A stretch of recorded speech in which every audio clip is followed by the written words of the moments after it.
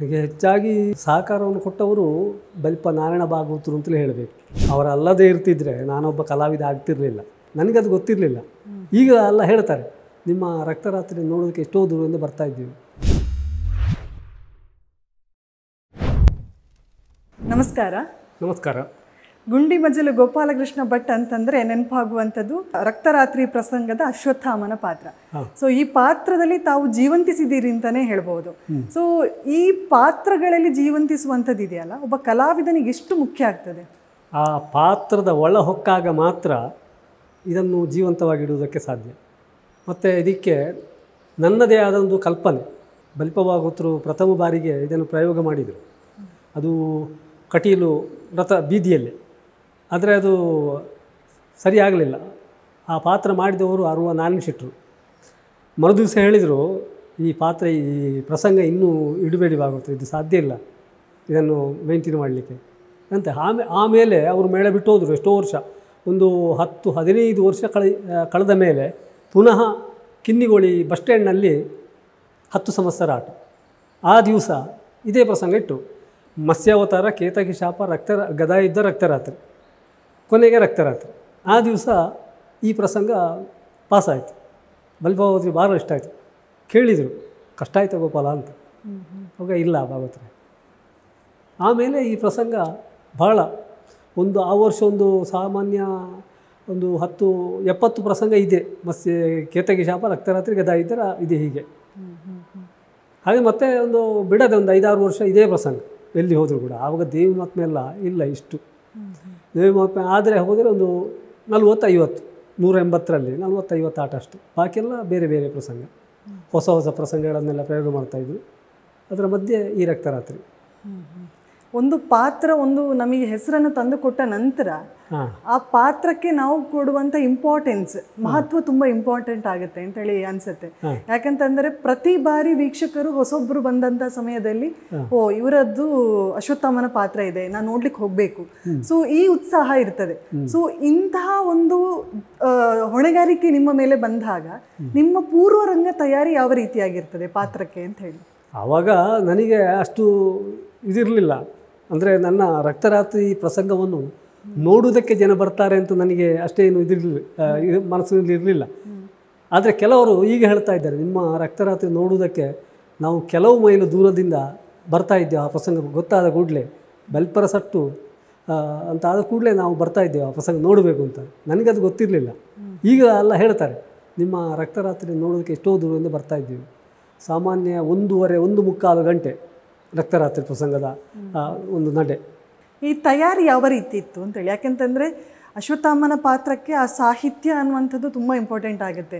ಆ ಪಾತ್ರದಲ್ಲಿ ನೀವು ಜೀವಂತಿಸಬೇಕು ಅಂತೇಳಿ ಆದರೆ ಆ ಸಂಭಾಷಣೆ ಆಗಿರ್ಬೋದು, ಅಭಿನಯ ಆಗಿರ್ಬೋದು, ಪ್ರತಿಯೊಂದು ಮುಖ್ಯ ಆಗಿರುತ್ತೆ. ಸೊ ಇದರ ತಯಾರಿ ಯಾವ ರೀತಿಯಾಗಿ ನಡೆಸ್ತಿದ್ರಿ ನೀವು ಅಂತ ಹೇಳಿ ತಯಾರಿ ಅಂತ ಏನಿಲ್ಲ ಆವಾಗ ಮಕ್ಕಳಾಟಿಗೆ. ನನ್ನದೇ ಒಂದು ದಾರಿ ಅದು. ಅದು ಬಲ್ಪ ಇದನ್ನು ಮೆಚ್ಚಿದರು. ಇದು ಆದಿತ್ಯ ರಂಗಕ್ಕೆ. ಅಲ್ಲ, ಅದು ಮೇ, ಆಮೇಲೆ ನಾನು ಹೆಚ್ಚು ಏನು ಅದಕ್ಕೆ ಇದು ಮಾಡ್ತಾ ಇರಲಿಲ್ಲ. ಬೇರೆ ಸೇರಿಸ್ತಾ ಇರಲಿಲ್ಲ, ಲೆಕ್ಕಾಚಾರ ಅದು. ಆಮೇಲೆ ಎಡನೀರು ಮೇಳಕ್ಕೆ ಬಂದಾಗ ಮತ್ತೆ ಕೆಲವು ಹೊಸ ಹೊಸತ್ತೆಲ್ಲ ನಾನು ಪ್ರಯೋಗಿಸಿದೆ. ಆವಾಗ ಗುರುಗಳಿಗೆ ಭಾಳ ಖುಷಿಯಾಯಿತು ನಮ್ಮ ಕೇಶವಾನಂದ ಭಾರತಿ ಸ್ವಾಮಿಗಳಿಗೆ. ಎಲ್ಲಿ ಹೋದರೂ ಕೂಡ ಅದೇ ಪ್ರಸಂಗ. ಆ ಎಡನೀರಿನಲ್ಲಿ ಒಂದು ನಾಲ್ಕೈದು ಸಲ ಈ ಪ್ರಸಂಗ ಆಗಿದೆ. ಆಮೇಲೆ ಬೆಂಗಳೂರಲ್ಲಿ ಅವರೇ ಆಡಿಸಿದರು. ಅಲ್ಲಿಯೂ ಹಾಗೆ. ಇಷ್ಟೆಲ್ಲ ಕೇಳುವಾಗ ನನಗೊಂದು ಕುತೂಹಲ ಆಗ್ತಿದೆ.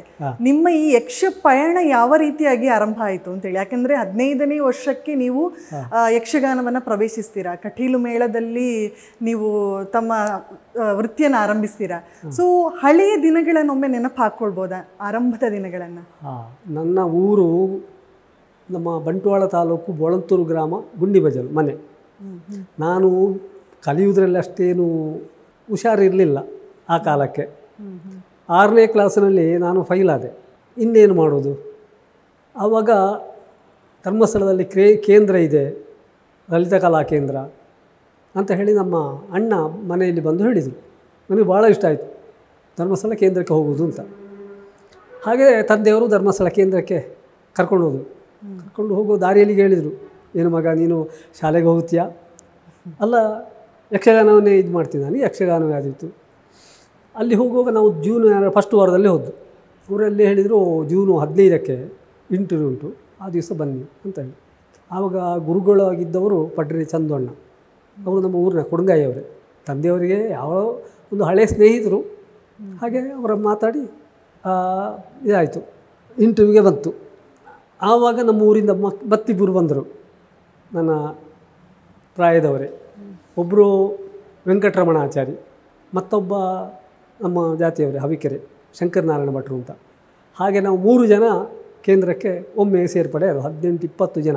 ಗಂಗಾಯಿ ಶೆಟ್ಟರು ಲಕ್ಷ್ಮಣಗೌಡರು ಉಮೇಶ್ ಹೆಬ್ಬಾರರು ಶರಪ್ಪಾಡಿ ಶಂಕರನಾರಾಯಣ ಕಾರಂತರು. ಹೀಗೆ ಹದಿನೆಂಟು ಇಪ್ಪತ್ತು ಜನ ಆಯಿತು. ನಾವು ಈ ಬೋಳಂತೂರಿಂದ ಹೋದವರಲ್ಲಿ ಮೇಳಕ್ಕೆ ಹೋದ್ದು ನಾನು ಮಾತ್ರ. ಅವರಿಬ್ಬರು ಈಗ ಮನೆಯಲ್ಲಿ ಬೇರೆ ಎಂಥದ್ದು ಎಲ್ಲ ಮಾಡಿಕೊಂಡಿದ್ದಾರೆ. ಹಾಗೆ ಮೇಳಕ್ಕೆ ಹೋದವರಲ್ಲಿ ಈಗ ವೇಷ ಮಾಡೋದು ನಾನು ಆಗ ಹದಿನೆಂಟು ಇಪ್ಪತ್ತು ಜನ ಕಲಾವಿದರಿದ್ದು ಇದು ನಾಟ್ಯ ಕಲಿತಾ ಇದ್ದೆವು. ಅವರಲ್ಲಿ ವೇಷ ಮಾಡೋದು ನಾನು ಮಾತ್ರ. ಗಂಗಾ ಶಿಷ್ಟರು ಇಲ್ಲ ಲಕ್ಷ್ಮಣಗೌಡರು ಮತ್ತು ಉಮೇಶ್ ಹೆಬ್ಬಾರು ಅವರು ವೇಷ ಮಾಡೋದಿಲ್ಲ. ಶಂಕರನಾರಾಯಣ ಕಾರಂತರು ಈಗ ಪಣಮೂರಲ್ಲಿ ಸೆಟ್ಲ್ ಆಗಿದ್ದಾರೆ. ಹೀಗೆ. ನೀವು ಆರಂಭದಲ್ಲಿ ಮಾಡ್ತಿದ್ದಂತಹ ವೇಷಗಳು? ಆರಂಭದಲ್ಲಿ ನಾನು ಕಟೀಲು ಮೇಳ ಒಂದು ಮೂರು ತಿಂಗಳು ಕಟೀಲು ಮೇಳದಲ್ಲಿ ಆವಾಗ ಒಂದೇ ಮೇಳ ಇದ್ದದ್ದು. ಸೊರನಾಡು ಮೇಳ ಅಂತ. ಸೊರನಾಡು ದುರ್ಗಾ ಪರಮೇಶ್ವರಿ ಮೇಳ ಅಂತ ಒಂದು ಮೇಳ ಸಣ್ಣ ಮೇಳ. ಅದನ್ನು ನಡೆಸ್ತಾ ಇದ್ದು ವಿಶ್ವನಾಥ ಶೆಟ್ಟರು ಅಂತ. ಹಾಗೆ ಅವರ ಮೇಳಕ್ಕೆ ನಾನು ಸೇರಿಕೊಂಡೆ. ಅದು ವಾರದಲ್ಲಿ ಒಂದು, ಎರಡು ಆಟ. ಆವಾಗ ಅದರಲ್ಲಿಯೂ ಹಾಗೆ ಒಳ್ಳೆ ಒಳ್ಳೆ ಕಲಾವಿದರಿದ್ದರು ಮುಂದಿಲ ಕೃಷ್ಣಭಟ್ರು ಮತ್ತು ಬೇಕೂರು ಕೇಶವಣ್ಣ ಅಂತ ಚೆನ್ನಪ್ಪ ಶೆಟ್ಟರು ಹೀಗೆ ಎಲ್ಲ ಕಲಾವಿದರಿದ್ದರು ಮತ್ತು ಮತ್ತಿನ ವರ್ಷ ಕಟೀಲು ಮೇಳ ಎರಡಾಗ್ತದೆ ಅಂತ ಸುದ್ದಿ ಆಯಿತು. ಆಗ ವಿಶ್ವನಾಥ ಶೆಟ್ಟರಲ್ಲಿ ನಮ್ಮ ತಂದೆಯವರು ಕೇಳಿದರು. ಬರುವ ವರ್ಷ ಕಟೀಲು ಮೇಳಕ್ಕೆ ಸೇರ್ತಾನೆ ಆಗದ. ಓ, ಧಾರಾಳ.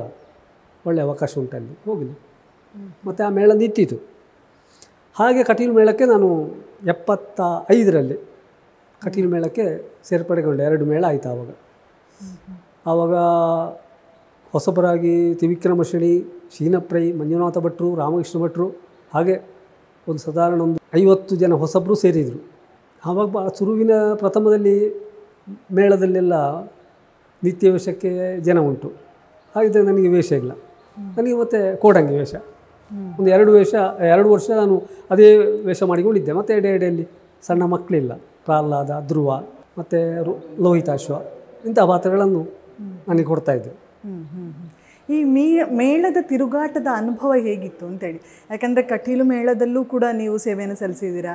ಎಡನೀರು ಮೇಳಗಳಲ್ಲಿ ನೀವು ಸೇವೆ ಸಲ್ಲಿಸಿದ್ದೀರಾ? ಧರ್ಮಸ್ಥಳ ಮೇಳದಲ್ಲಿದ್ರಿ ಸೊ ಈ ಮೇಳದ ಮೇಳದ ಅನುಭವಗಳು ವಿಭಿನ್ನವಾಗಿ ಇರುತ್ತೆ ಅಂತಲೇ ಅಂದ್ಕೊಳ್ತೀನಿ ನಾನು. ಸೊ ಆ ಅನುಭವಗಳು ಹೇಗಿತ್ತು ಅಂತ ಹೇಳಿ ಮೊದಲು ಮೇಳದ ಜೀವನ ಬಹಳ ಕಷ್ಟ ಇತ್ತು. ಈಗಿನ ಹಾಗಲ್ಲ. ದೊಡ್ಡವರು ಹೇಳಿದಾಗೆ ಕೇಳಬೇಕು. ಮತ್ತು ರಂಗಸ್ಥಳದಲ್ಲಿಯೂ ಹಾಗೆ ಯಾವುದೇ ಇದು ತಪ್ಪಾಗಬಾರ್ದು. ಕಠಿಣ ಇತ್ತು ಆವಾಗ. ಹಾಗೆ ಅಂತೇಳಿ ಡೇರೆ ಮೇಳದಲ್ಲಿ ಧರ್ಮಸ್ಥಳ ಇರ್ಬೋದು ಕರ್ನಾಟಕ ಮತ್ತು ಸುರತ್ಕಲ್ಲು ಈ ಮೇಳದಲ್ಲಿ ಸೌಕರ್ಯ ಇತ್ತು. ಆದರೆ ಕಟೀಲು ಮೇಳದಲ್ಲಿ ಆವಾಗ ಏನೂ ಇರಲಿಲ್ಲ. ಏನು ಅಂದರೆ ಏನೂ ಇಲ್ಲ. ಹೋಗೋದಕ್ಕೆ ನಮಗೆ ಲಾರಿ ಲಾರಿಯಲ್ಲೇ ಹೋಗಬೇಕು. ಐದು ಮೈಲು ಮುಂದೆ ಕಡಿಮೆ ಇದ್ದರೆ ನನ್ನ ಮತ್ತೆ ತಲೆ ಹೊರೆಯಲ್ಲೇ ಹೋಗಬೇಕು ನಡ್ಕೊಂಡು ಹೋಗಬೇಕು. ಭಾಳ ಕಷ್ಟ ಇತ್ತು ಆವಾಗ ಒಬ್ಬ ಕಲಾವಿದನಾಗಿ ಹ್ಞೂ ನಿಮಗೆ ಯಾವ ಕಲಾವಿದನ ಪಾತ್ರಗಳು ಅಥವಾ ಯಾವ ಪಾತ್ರಧಾರಿಗಳು ನಿಮಗೆ ತುಂಬ ಮೆಚ್ಚುಗೆ ಆಗುತ್ತೆ ಅಂತ ಹೇಳಿ. ಆವಾಗ ಕಟೀಲು ಮೇಳದ ಎರಡನೇ ಮೇಳ ಬಲಿಪರ ಸಟ್ಟು. ಅದರಲ್ಲಿ ಪೆರುವಾಯಿ ನಾರಾಯಣ ಶೆಟ್ಟರು ಅರುವ ನಾರಾಯಣ ಶೆಟ್ಟರು ಗಂಗಾಯ ಶೆಟ್ಟರು ಮಂಕುಡೆ ಸಂಜೀವ ಶೆಟ್ಟರು ಹೀಗೆಲ್ಲ ಕಲಾವಿದರಿದ್ದರು ಮತ್ತು ಶಿವಣ್ಣಾಚಾರಿ ಅಂತ ಮುಡಿಪಿನವರು ಒಳ್ಳೊಳ್ಳೆ ಕಲಾವಿದರು. ಅದರಲ್ಲಿ ಪೆರುವಾಯಿ ನಾರಾಯಣ ಶೆಟ್ಟರು ಮತ್ತು ಅರುವ ನಾರಾಯಣ ಶೆಟ್ಟರು ಆವಾಗ ಅರುವ ನಾರಾಯಣ ಶೆಟ್ಟರು ಕುಂಡುವೇಷ. ಪೆರುವಾಯಿ ನಾರಾಯಣ ಶೆಟ್ಟರು ಎದುರು ವೇಷ ಹೀಗಿತ್ತು. ಶೀನಪ್ರೈಗಳು ಪೀಠಿಗೆ ವೇಷ. ಅರುವ ನಾರಾಯಣ ಶೆಟ್ಟರು ಪಿರುಬಾಯಿ ನಾರಾಯಣಿ, ನಾರಾಯಣ ಶೆಟ್ಟರು ಇವೆಲ್ಲ ನನಗೆ ಮೆಚ್ಚುಗೆ ವೇಷ. ಮತ್ತು ಬೇರೆ ಆವಾಗ ನಮಗೆ ಅವಕಾಶ ಇರ್ತಿರಲಿಲ್ಲ. ಧರ್ಮಸ್ಥಳ ಮೇಳದ ನಾರಾಯಣ ಹೆಗ್ಡೆಯವರು ಎಂಪೆಕಟ್ಟೆಯವರು ಇವರನ್ನೆಲ್ಲ ಒಡನಾಟ ಇರಲಿಲ್ಲ. ನಿಮ್ಮ ಈ ಯಕ್ಷ ಪಯಣದಲ್ಲಿ ನಿಮ್ಮ ಗುರುಗಳನ್ನು ನೆನೆಸ್ಕೊಳ್ಳೋದು ಬಹುಶಃ ತುಂಬ ಮುಖ್ಯ ಆಗುತ್ತೆ ಅಂತ ಕಾಣುತ್ತೆ. ಸೊ ಆರಂಭ ದಿನಗಳಲ್ಲಿ ನಿಮ್ಮನ್ನು ತಿದ್ದುವಂಥ ಕೆಲಸ ಮಾಡಿದಂತಹ ಗುರುವನ್ನೊಮ್ಮೆ ನೆನಪಿಸ್ಕೊಳ್ಬೋದಾ? ನನಗೆ ಹೆಚ್ಚಾಗಿ ಸಹಕಾರವನ್ನು ಕೊಟ್ಟವರು ಬಲ್ಪ ನಾರಾಯಣ ಭಾಗವತರು ಅಂತಲೇ ಹೇಳಬೇಕು. ಅವರಲ್ಲದೇ ಇರ್ತಿದ್ರೆ ನಾನೊಬ್ಬ ಕಲಾವಿದ ಆಗ್ತಿರಲಿಲ್ಲ. ಅವರ ಅವ್- ನನ್ನನ್ನೊಂದು ಕಲಾವಿದ ಮಾಡಬೇಕು ಅಂತ ಹೇಳಿ ಬಹಳ ಪ್ರಯತ್ನ ಪಟ್ಟಿದ್ದಾರೆ ಅವರು. ಅವರ ಮನೆಯಲ್ಲೇ ನಾನು ಮಳೆಗಾಲದಲ್ಲಿ ಆರು ತಿಂಗಳು ಇದ್ದೆ. ಅಲ್ಲೇ ಹಗಲು ಕೆಲಸ ಮಾಡಿಕೊಂಡು ರಾತ್ರಿ ಪ್ರಸಂಗ ಓದುವುದು ಪ್ರಸಂಗ ಬರೆಯುವುದು. ಹಳೆ ಪ್ರಸಂಗಗಳನ್ನು ಮತ್ತೊಂದು ಪುಸ್ತಕಕ್ಕೆ ಬರೆಯುವುದು. ಅಭ್ಯಾಸ ಆಗಬೇಕು ಅಂತ. ಹಾಗೆ ನನ್ನನ್ನು ಒಳ್ಳೊಳ್ಳೆ ವೇಷ ಎಲ್ಲ ಕೊಡಿಸಿದ್ರು ಅವರು. ಇಂದ್ರಜಿತ್ತು ಕಾಳಗ ಲಕ್ಷ್ಮಣ. ಮತ್ತು ಸುಮಾರು ಚಂಡ ಚಂಡಮುಡ್ರು ಮತ್ತು. ಮತ್ತು ಕುಶ ಇಂಥ ಪಾತ್ರಗಳನ್ನೆಲ್ಲ ಕೊಡಿಸಿ ನನ್ನನ್ನು ಬಹಳ ತಿದ್ದಿದ್ದಾರೆ ಅವರು. ಅಲ್ಲದೇ ಇದ್ದರೆ ನಾನು ವೇಷಧಾರಿ ಆಗ್ತಿರ್ಲಿಲ್ಲ. ಅವರು ಹಾಗೆ ಕೆಲವು ಕಲಾವಿದರನ್ನು ತಯಾರು ಮಾಡಿದ್ದಾರೆ. ಅಜಕಾರ ರಾಜೇಶ್ ಶೆಟ್ಟಿ ಇರ್ಬೋದು ಮತ್ತು ಕೆಲವು ಜನ ಲಕ್ಷ್ಮಣಗೌಡರು ಗಂಗಾಯ ಶೆಟ್ಟರು ಇವರನ್ನೆಲ್ಲ ತಯಾರು ಮಾಡಿದವರು ಅವರೇ. ಅವರು ಸಾಮಾನ್ಯ ಚೌಕಿಗೆ ಆವಾಗ ನಾಲ್ಕು ಗಂಟೆಗೆ ಬರ್ತಾಯಿದ್ರು ಅವರು ಒಂದೇ ಊಟ. ಬೆಳಗ್ಗೆ ಹೋಗಿ ಮಲಗಿದರೆ ಮೂರು ಗಂಟೆಯಾಗ ಇಳ್ತಾಯಿದ್ರು ಸ್ನಾನ ಮಾಡಿ ಊಟ ಮಾಡಿ ಮತ್ತು ಆಟದ ಹತ್ರ ಹೋಗು ನಡ್ಕೊಂಡು. ಹಾಂ ಹೋಗುವ ಅಂತೇಳಿ ಚೌಕಿಗೆ. ಚೌಕಿಯಲ್ಲಿ ಬ ಹೋದ ಮೇಲೆ ಕಲಾವಿದರು ಒಬ್ಬೊಬ್ಬರೇ ಬರ್ತಾಯಿದ್ರು ಅವ್ರ ಹತ್ರ. ಸದಾ ಸಾಮಾನ್ಯ ಐದು ಗಂಟೆಗೆ ಅವರು ಸಂಖ್ಯೆಯಲ್ಲಿ ಇರ್ತಾಯಿದ್ರು ಎಲ್ಲ ಕಲಾವಿದರಿಗೆ ಪ್ರಸಂಗದ ಮಾಹಿತಿ, ಹೊಸ ಪ್ರಸಂಗ ಆದರೆ ಹೀಗೆ ಆಗಬೇಕು, ಪದ್ಯವನ್ನು ಹೇಳಿ ಹೀಗೆ ಅರ್ಥ ಅದು ಅರ್ಥ ಅದಕ್ಕೆ ನಾನು, ಈಗ ನಾನು ಹೋದ ಮೇಲೆ ಮತ್ತೊಬ್ಬ ಬರ್ತಾಯಿದ್ದೆ ಅದು ಹೇಗೆ ಭಾಗವತ್ರೆ ಅಂತ. ಅವರಿಗೂ ಹಾಗೆ ಮುದದಿಂದ ಪಾಠ ಮಾಡ್ತಾಯಿದ್ರು ಅಷ್ಟು ಕಲೆಯ ಮೇಲೆ ಅವರಿಗೆ ಅಭಿಮಾನ ಇತ್ತು. ಅವರನ್ನು ಮರೆಯುವುದಕ್ಕೆ ಸಾಧ್ಯ ಇಲ್ಲ. ಯಾವ ಗುಣಗಳು, ಅವರ ಯಾವ ಗುಣಗಳು ನಿಮ್ಮನ್ನು ತುಂಬ ಪ್ರಭಾವಿಸ್ತದೆ ಅಂತ ಹೇಳಿ ಹೇಳ್ಬೋದು? ಅವರಲ್ಲಿರುವ ಸೌ, ಸೌಮ್ಯತೆ. ಸಣ್ಣ ಮಕ್ಕಳಿಗೆ ಹೇಳಿಕೊಟ್ಟಾಗ ಅವರು ಹೇಳಿಕೊಡ್ತಾಯಿದ್ರು ಎಲ್ರಿಗೂ, ಭೇದ ಇಲ್ಲ. ಒಂದು ಪ್ರಸಂಗವನ್ನು ಎಲ್ಲ ಕಲಾವಿದರಿಗೂ, ಹೊಸ ಪ್ರಸಂಗದ ಬಗ್ಗೆ, ಅದರ ನಡೆಯ ಬಗ್ಗೆ ಅವರು ಹೇಳಿಕೊಡ್ತಾಯಿದ್ರು ಮತ್ತು ರಂಗಸ್ಥಳದಲ್ಲಿ ಏನು ಹೇಳ್ತಾ ಇರಲಿಲ್ಲ. ಬೈತಾ ಇರಲಿಲ್ಲ. ಮತ್ತೆ ಹೇಳ್ತಾ ಇದ್ರು. ಅದು ನೀನು ಮಾತಾಡಿ ತಪ್ಪು. ಹೀಗೆ ಮಾತಾಡಬೇಕು. ಮತ್ತೆ ಹೇಳ್ತಾ ಇದ್ರು ಅವರು. ರಂಗದಲ್ಲಿ ಏನೂ ಅವ್ರದ್ದು ಇದಿಲ್ಲ. ನೀವೊಬ್ರು ಯಕ್ಷಗಾನ ಕಲಾವಿದರಾಗದೇ ಇರ್ತಿದ್ರೆ ಬಹುಶಃ ನಿಮ್ಮನ್ನ ಯಾವ ಕ್ಷೇತ್ರದಲ್ಲಿ ನಾವು ಕಾಣಬೇಕಾಗಿತ್ತು? ಇಲ್ಲ ನನ್ನನ್ನು ಎಲ್ಲಿಯೂ ನೋಡುವುದಕ್ಕೆ ಸಾಧ್ಯವೇ ಇರ್ತಿರಲಿಲ್ಲ. ನಾನು ಹೇಳಿ ಕೇಳಿ ಕೃಷಿಕ ನಮ್ಮ ತಂದೆಯವರು ಹಾಗೆ ಕೃಷಿ ಮಾಡಿಕೊಂಡಿದ್ದೆವು. ತಂದೆಯವರಿಗೆ ಹಾಗೆ ಯಕ್ಷಗಾನ ಅಂದರೆ ಭಾಳ ಪ್ರೀತಿ. ಹದಿನೈದು ಇಪ್ಪತ್ತು ಮೈಲು ನಡೆದದ್ದು ಉಂಟು. ಅವರು ಭಾಗವತಿಗೆ ಮಾಡ್ತಾಯಿದ್ರು ಸ್ವಂತ. ಆವಾಗ ಶ್ರುತಿಜ್ಞಾನ ಇಲ್ಲ ಆದರೂ ಕೂಡ. ಭಾಗವತಿಗೆ ಸಣ್ಣ ಮಟ್ಟಿಗೆ ಮಾಡ್ತಾಯಿದ್ರು ತಂದೆಯವರು ಒಂದು ಆಟ ಎಲ್ಲ ಮಾಡಿಸಿದ್ದಾರೆ. ಎಲ್ಲ ಊರಿನವರನ್ನು ಹಿಡ್ಕೊಂಡು ವಿಟ್ಲ ರಾಮಾಯ ಶೆಟ್ಟರನ್ನು ನಮ್ಮ ಊರಿಗೆ ಬರೆಸಿ, ಒಂದು ಶಾಲೆಗೆ, ಬೋಳತ್ತೂರು ಶಾಲೆಗೆ ಬರೆಸಿ, ಅಲ್ಲಿ ಒಂದು ಕ್ಲಾಸ್ ಮಾಡಿಸಿ ಅವರಿಗೆ ಮನೆಯಲ್ಲೇ ಊಟ ವಸತಿ ಅಲ್ಲ. ಹಾಗೆ ಒಂದು ಮೂರು ತಿಂಗಳು ನಮ್ಮ ಮನೆ, ಮನೆಯಲ್ಲೇ ಇದ್ದರು ಅವರಿಗೆ ಅಷ್ಟು ನಾಟ್ಯದ ಬಗ್ಗೆ ಏನು ಗೊತ್ತಿರಲಿಲ್ಲ. ಆದರೂ ಒಂದು ಪ್ರಸಂಗ ಮಾಡಿದ್ದಾರೆ ಅವರು, ವಿದ್ಯುನ್ಮತಿ ಕಲ್ಯಾಣ. ನಂದು ಆವಾಗ ನಾನು ಶಾಲೆಗೆ ಹೋಗ್ತಾ ಇದ್ದೆ, ಐದನೇ ಕ್ಲಾಸು ನಂದು ಇದು ಚಿತ್ರಕೇತ ಚಿತ್ರಕೇತ ಚಿತ್ರವಾಹನ. ಹಾಗೆ ಮತ್ತೆ ಆಟವೇ ಆದೀತು ಅಂತ ಆಯಿತು ನನಗೆ. ಬೇರೆ ಎಲ್ಲಿಯೂ ನಾನು ಕಾಣುವುದಕ್ಕೆ ಸಾಧ್ಯವೇ ಇರಲಿ ಇರುವುದಕ್ಕೆ ಸಾಧ್ಯ ಇಲ್ಲವಾಯ್ತು ಸಾಕಷ್ಟು ಪುರಾಣದ ಪಾತ್ರಗಳನ್ನು ನೀವು ಅಭಿನಯಿಸಿದ್ದೀರಾ. ಸೊ ಎಲ್ಲೋ ಅನಿಸಿದ್ದಿದೆಯಾ ನಾನು ಇಂಥದ್ದೊಂದು ಪಾತ್ರ ಮಾಡಬೇಕಾಗಿತ್ತು ಇನ್ನೂ ಆ ಒಂದು ಪಾತ್ರ ಮಾಡಲಿಕ್ಕೆ ನನಗೆ ಅವಕಾಶ ಸಿಕ್ಕಿಲ್ಲ ಅಂತ ಅನಿಸಿದ್ದಿದೆಯಾ? ಎಲ್ಲ ನಾ ಮಾಡಬೇಕಾಗಿರೋ ಪಾತ್ರ ಎಲ್ಲ ಮಾಡಿದ್ದೇನೆ. ಒಂದು ಸಲ ಬಲಿಪ ಹೇಳಿದರು ಇವತ್ತು ನೀನು ಋತುವರ್ಣ ಮಾಡಬೇಕು ಅಂತ. ಅವಾಗ ನಾನು ಭಾಗವತರಲ್ಲಿ ಹೇಳಿದೆ, ಕಷ್ಟ ಆದಿತ್ತು ಭಾಗವತರ ಅದು ಅಂತ. ಮತ್ತೊಂದು ಸಲ ಭೀಷ್ಮ ಭೀಷ್ಮ ಅಂಬೆಯ ಪ್ರಕರಣದ ಭೀಷ್ಮ ಅದನ್ನು ಮಾಡಿದ್ದೇನೆ. ಅವಾಗ ನರಸಿಂಹ ಭಟ್ರು ಇದ್ದರು ಒಳ್ಳೆಯದಾಗಿದೆ ನಿಮಗೆ ಆದಿತ್ತು ವೇಷ ಅಂತ ಅವರೇ ಹೇಳಿದರು. ಹಾಗೆ ಮತ್ತು ಬೇರೆ ಬೇರೆ ಪ್ರಸಂಗಗಳಲ್ಲಿ ವೇಷ ಮಾಡಿದ್ದೇನೆ ನಾನು. ದೇವಿ ಮಹಾತ್ಮೆಯಲ್ಲಿ ದೇವಿಯ ಶುಂಭ ಇರ್ಬೋದು, ಮಹಿಷಾಸುರ, ಈ ಮೂರು ಪಾತ್ರ ನಾನು ಮಾಡಲಿಲ್ಲ. ಮತ್ತೆಲ್ಲ ಪಾತ್ರವನ್ನು ಮಾಡಿದ್ದೇನೆ. ಬ್ರಹ್ಮ, ವಿಷ್ಣು ವಿದ್ಯುನ್ಮಾಲಿ ಚಂಡಮುಂಡ್ರು ರಕ್ತಬೀಜ ಹೀಗೆ ಎಲ್ಲ ಪಾತ್ರವನ್ನು ಮಾಡಿದ್ದೇನೆ ನಾನು